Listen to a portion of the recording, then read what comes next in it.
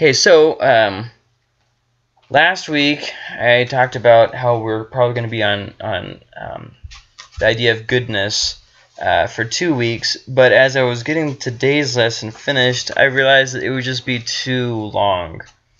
And because of the more philosophical nature of this one, I, I thought that that would just be too long. So we're, we're just turning it into a three into a three week thing, and then we'll go to Obadiah the week after, so October 19th instead. So just a summary of what we talked about last week. No one is good, not even God's people. Um, there's this idea that you know Christians are better than other people, that we have to be better than other people. That's just that's just wrong. God alone is good. Um, Jesus made that absolutely clear. Um, second off, um, we learned that Christianity is not about being good. It's not about being better. Um, and then we, we looked at the at the thing of so what is goodness and, and why is that thing good?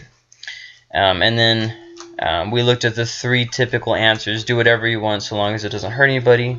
Do whatever you want. And just keep your conscience clean. That the, all of those are insufficient.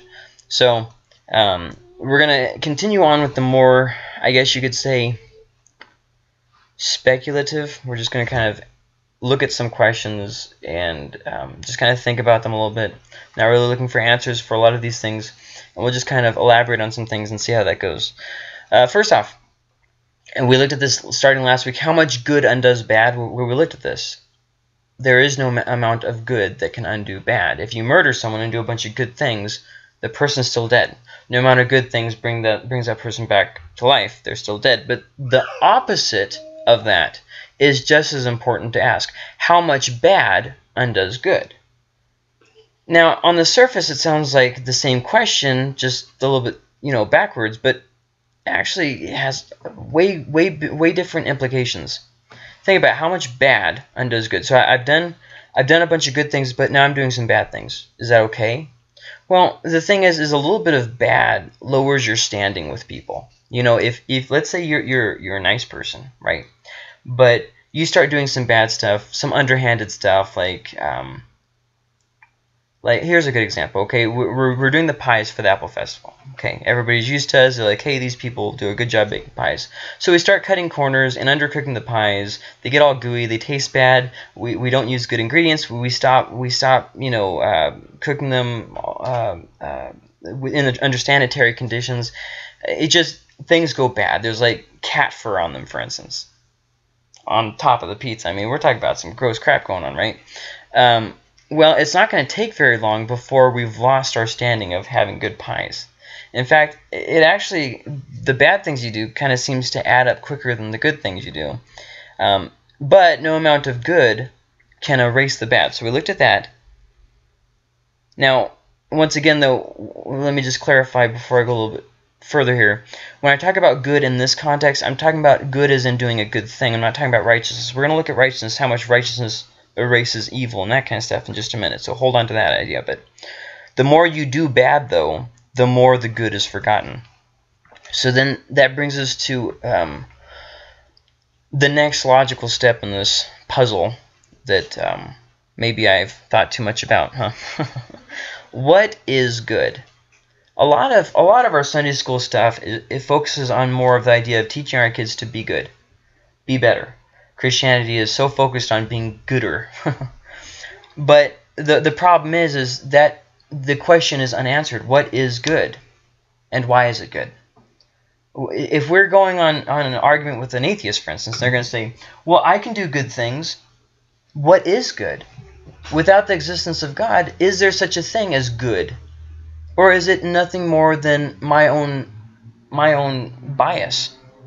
what's right to and good to one is right isn't right. Here's a good example, and we'll look at this at the very end. To an atheist, loving the Lord your God with all your heart, with all your whole soul, with all your strength, with all your mind, that's stupid. That's that's not a morally good thing. That's just oh, that's just a religious thing. But to a Christian, that is the heart and the soul of morals and ethics and goodness. Keeping in mind, once again, though, that God alone is good. So with that being said, you can see the big variety there. So what is good? Some people think it's something that we do. Some people think it's something that we are. Now let's let's think about this. If goodness is something that we do, then Hitler himself wasn't necessarily bad. He did some bad things, but he could have also done good things. Maybe if he would have lived a little bit longer, we would have seen more good things than bad things. And maybe those good things would have outdone all the genocide that he did. This is sarcasm. Um, we can tell right there that goodness can't be something that we do. But if you talk about talk to people, they always make it out to be like, well, we looked at last week with God sending good, quote unquote, good people to hell. Oh, well, they did good things. But that can't possibly make you good. No amount of doing good things can possibly make you good. So then, surely goodness must be something that we are. Well, then no one is good. If, if goodness is nothing more than something that we are, then there's four reasons why none of us can ever be good. Number one, we sin. We mess up. We did the wrong thing. Anybody here going to try and argue that? No? Didn't think so. Number two, we can sin. We have the in, we have the ability in us to do the wrong thing. God is incapable of doing a bad thing because he is wholly good. So those are two big important things right there. Number three, we are often unaware of our sin. That means we have ignorance in us of doing the wrong thing sometimes. Not all the time, but sometimes we do something wrong, ignorant that it is wrong. How can we possibly be good if we are unable to distinguish good from bad? If there is a realm of unknowability in us, then that means that we will be lost in that realm and unable to, to further reach our goal of goodness. Once again, a little bit more philosophical than usual, but it's a very important point to make anyways. Number four, we can do nothing to remove our sin. Even saying that we could possibly not sin, which is impossible, but let's say that we could, and we could overcome our human nature and be incapable of sin in the future, and we are unaware of our, and we are suddenly able to become aware of all sin and all knowability that is knowable. That brings us to the fourth problem. We can do nothing to remove it, though. Nothing we do can remove our sin. We are still sinners. So then that takes us to the idea of God and how goodness necessitates the existence of a God. Our conscience itself says that there is such a thing as good. We know inherently that beating a child is wrong. We know inherently that murdering someone and taking something that's not ours, these are things that we don't have to be told, hey, that's bad. We just know in us that that's bad. If I go anywhere in the world and just start taking somebody's stuff and, and, and beating people up, I mean, they're going to say, hey, that's a bad thing to do. I mean, even if you go to like the African tribal people who don't really have the idea of ownership, I can still go there and I can take their hunting steer and break it and throw it on the ground. And then I can start beating one of them up. And then the other one will say, this is a bad thing that you were doing. This is this is uh, something that, that is not exclusive to one society. It's all people. So then it, it, it, it, that brings us to the idea of God. God then has to be the ultimate of perfection for good to really truly exist. Anything less would be, well, then he's not good. And then goodness itself doesn't exist. So if God is good, I'm sorry, uh, let me say that differently. God then is good. He always has been. And he is the source of good. That means goodness is his standard of right and wrong. A lot of times with Christianity, people focus on the idea of being a better person, doing, doing the right thing. We looked at that last week, and I mentioned it quite a few times today already. But the thing is, I may not need God to do a good thing. I looked at this a little bit on Sunday morning when I when I talked about that passage um, from John chapter 10. I don't really need God's help to do a good thing. I can, even as an atheist, I can go out and do a good thing. I can go outside and help an old person cross the street, for instance. I don't, I don't need God and a guilt trip to tell me to do that. But oftentimes, Christianity is reduced to this reason for doing good and that's not really what it's about. You may not need God to do a good thing, but goodness isn't the goal. That means that you are going to mess up, and you have to realize that you're going to mess up and be okay with the fact that you're going to mess up without messing up on purpose. Doing good things doesn't change someone and make them good. So let's let's look at that a little bit more. I let's say a, a rapist doing good things is what? A rapist who's doing good things. Okay? A rapist who stopped doing rape, who stopped raping, that would be a rapist who's on break. They're still they're still a rapist. They have raped. They that is that is a defining uh, defining trait. Let's let's move to something else. A druggie doing good things. You have a drug that what is that? That's a druggie doing good things. A druggie who stopped doing drugs is a druggie who's on break. Well, so that brings up the obvious question, are they doomed to repeat the behavior because that's who they used to be? Well, no, I'm not I'm not saying that you're doomed to that failure, and that's kind of my point. Sometimes people push Christianity like it's only valid as a means of bettering yourself. If you're a druggie, you want to change your life, you get saved so you won't be a druggie anymore. Well, hold on. You can get off drugs without without being saved. I've seen people do it. And that brings us to an argument that I actually have a lot of times. In fact, I just had it later, uh, earlier on this week. Um, this one right here. So long as I'm no longer doing drugs, I don't really need to go to church. It's just not really for me. I'm off drugs. That's good enough. Well, getting off of drugs wasn't really the goal. The goal was being made right before God. See, goodness, I, I've attained goodness by myself. I don't need to go to church. I don't need that whole God thing. I was able to better myself by myself. I, only people who can't better themselves by themselves need to go to church.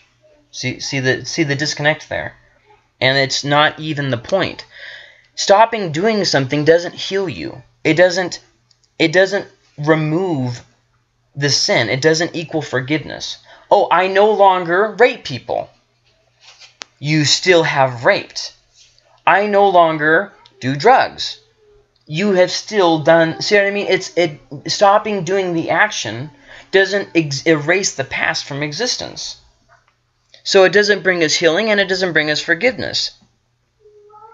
But with that being said this is also a, a flip 180 of that is it's also extremely good news because that means that when we inevitably fell which we will we don't have to say this. I'm so terrible because i did blank again. I masturbated again. I looked at porn again. I did drugs again. I, you know, fill in the blank, whatever it is. I don't have to feel bad about it any, anymore because, you know, obviously, hopefully we're growing. Hopefully we're growing.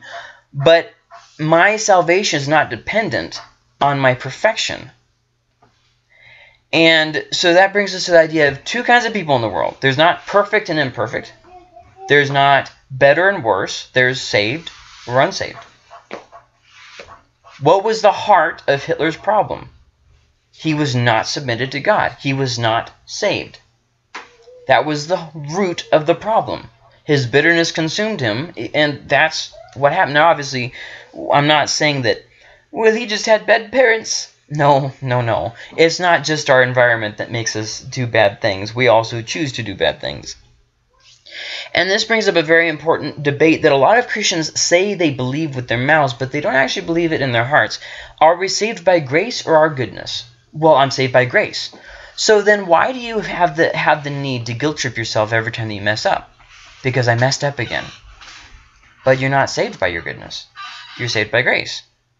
Saved people mess up, and, and unsaved people mess up too. Everybody messes up.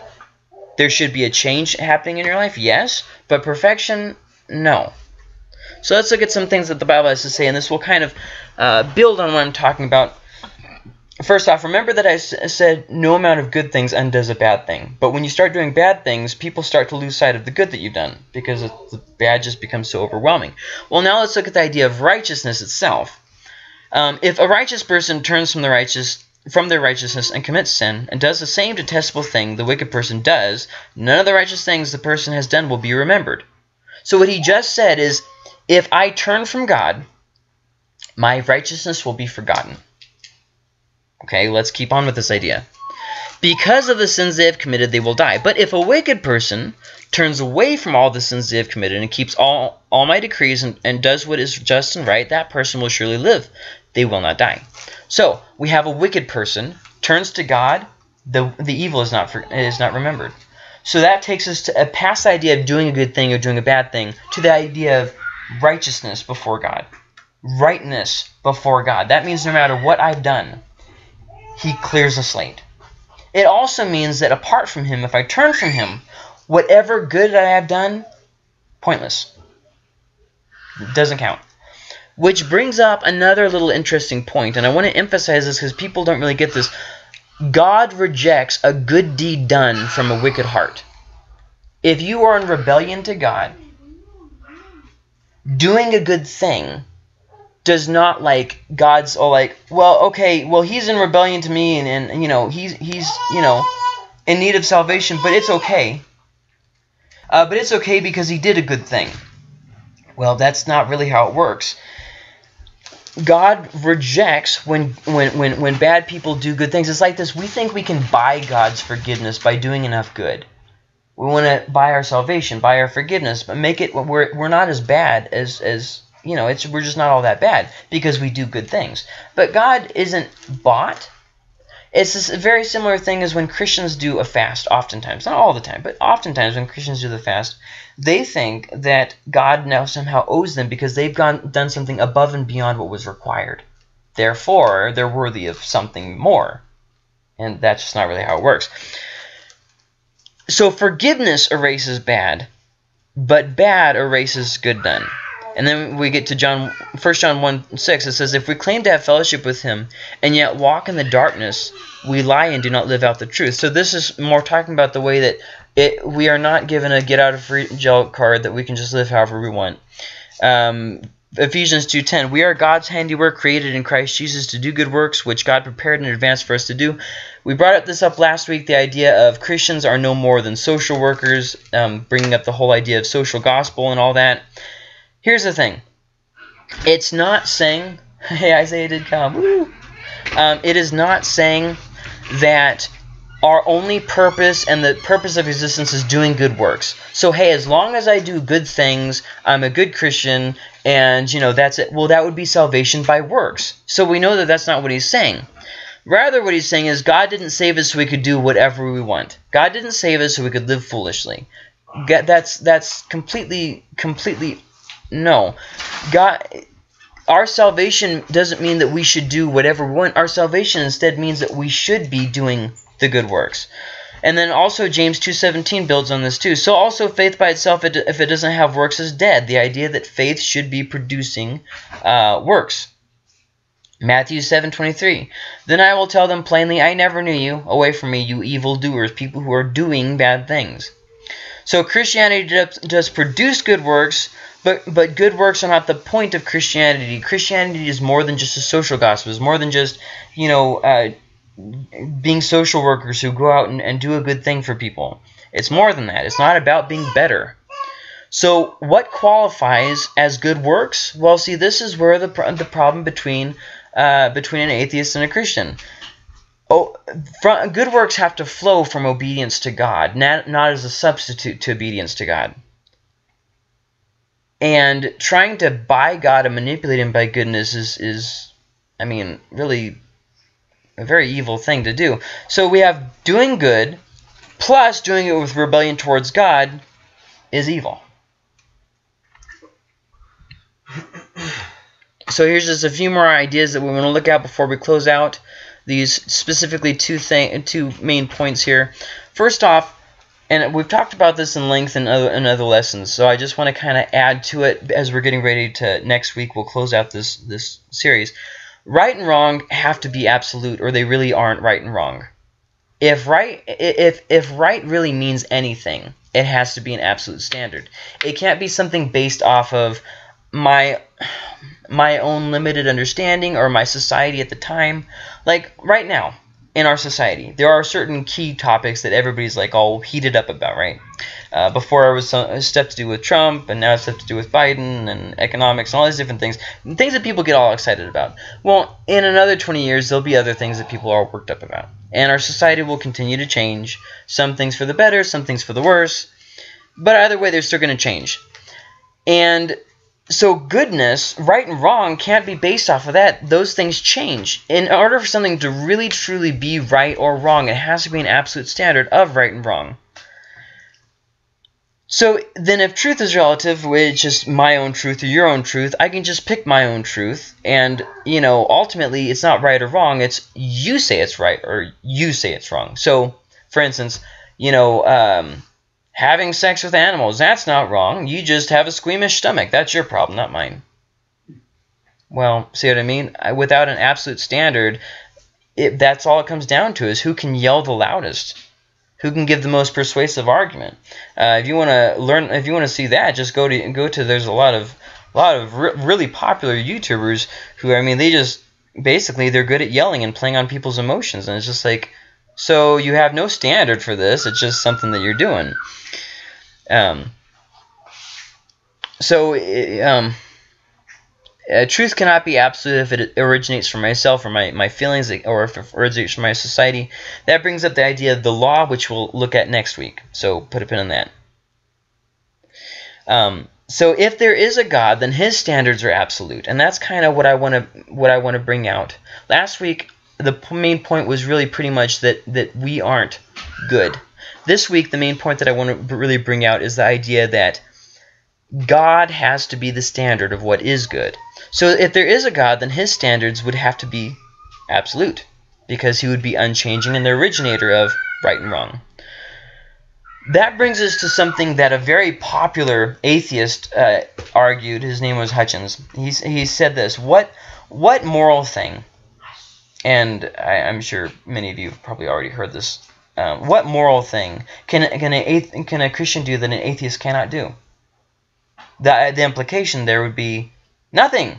You know, it, we can all do the same moral things, which I really do get what he's saying, but the problem is, is that's not totally accurate.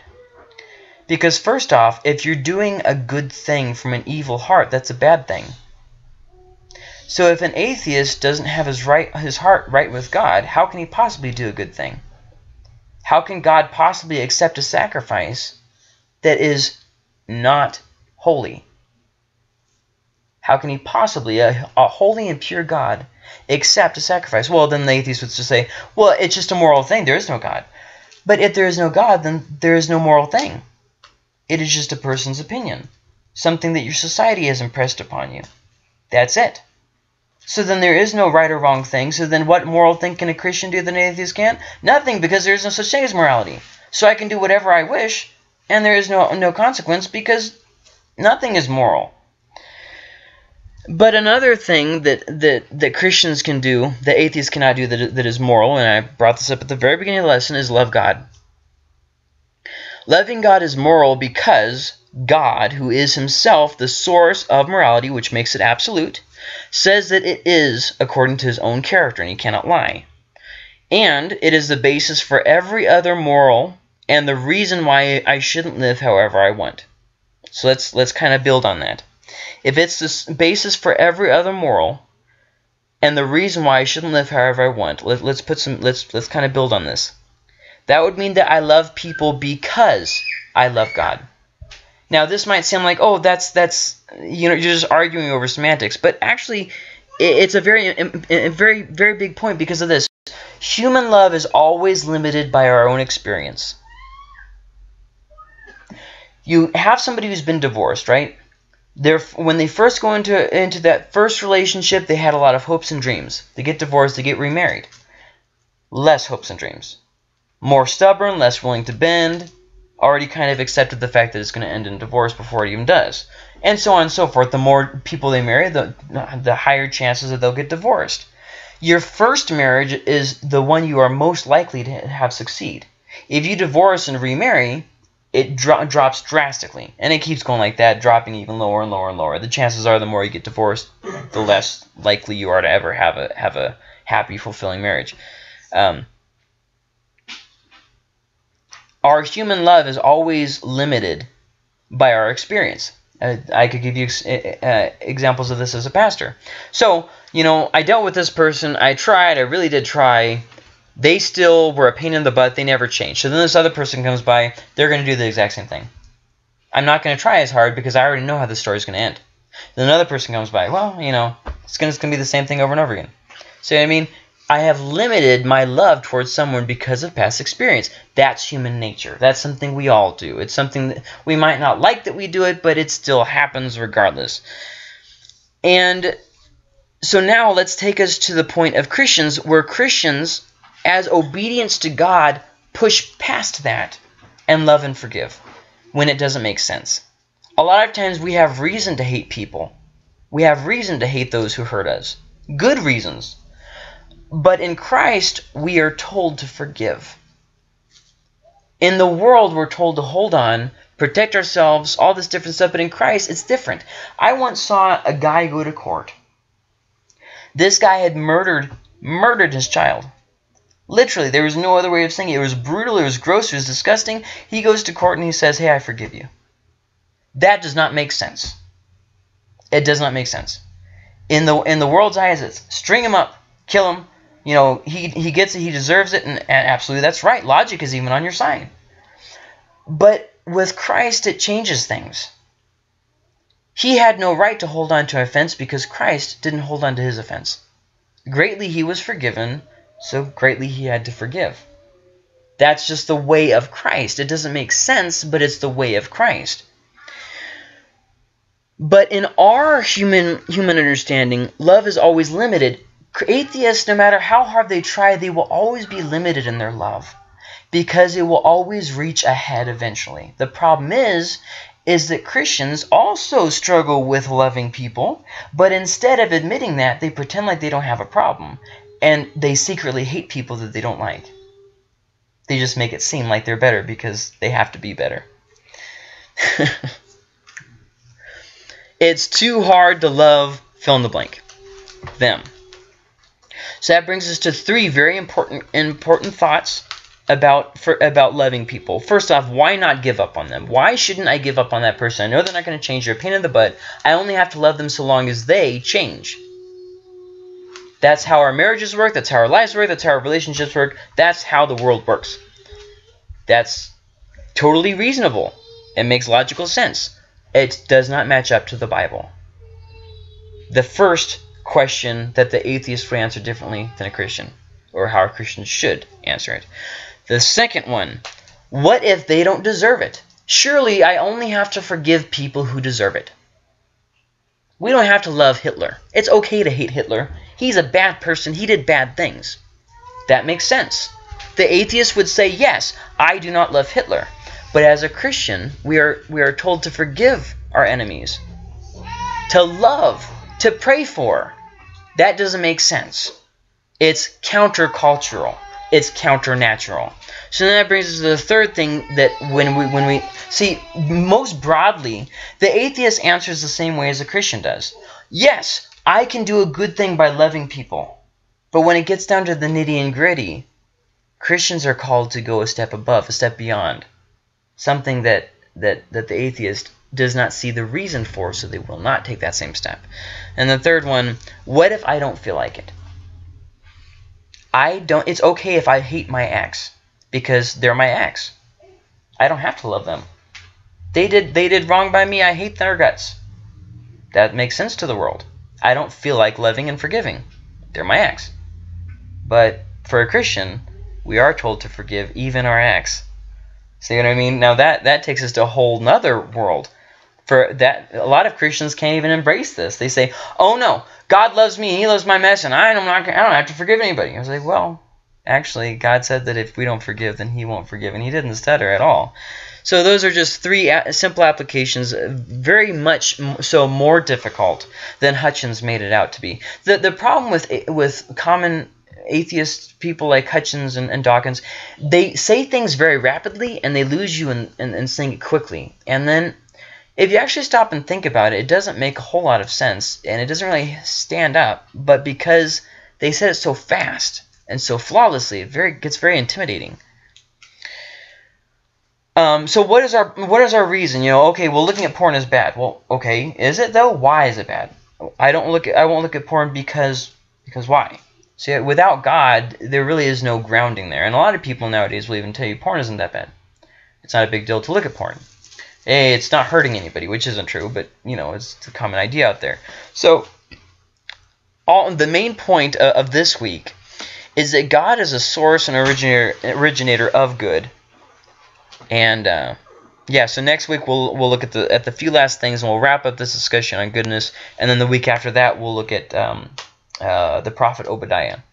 Uh, probably be on him for a week or two. Were there any questions? Any comments? Okay.